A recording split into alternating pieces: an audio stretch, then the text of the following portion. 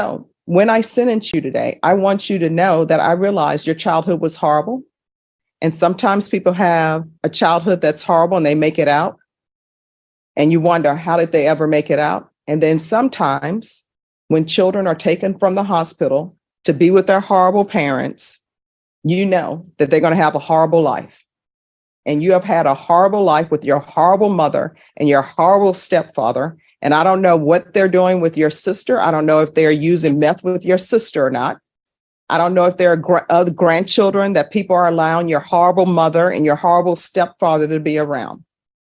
So I want you to know that I heard all of the testimony and I listened to it and I internalize it. Okay? So I'm going to find you guilty. I'm going to sentence you to 35 years in the prison.